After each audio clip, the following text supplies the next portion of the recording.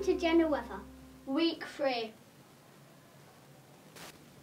The temperature today is 9.1 degrees. It feels like six. Humidity is 98. UV rating is three. It's a bit warmer today than the last couple of weeks. But the UV rating is one point higher. Over to Poppy and Carmen. For the rain report. Thank you, Maya and Finley, for doing the first part. Here's the rain report. We had one centimetre of rain, cold, and it's really rainy. Tomorrow's gonna. Uh, tomorrow we think it's gonna be the same. Back to the studio.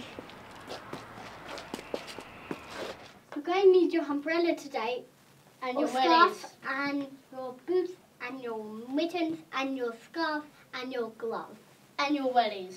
and your hat. Just letting you know. See you next time.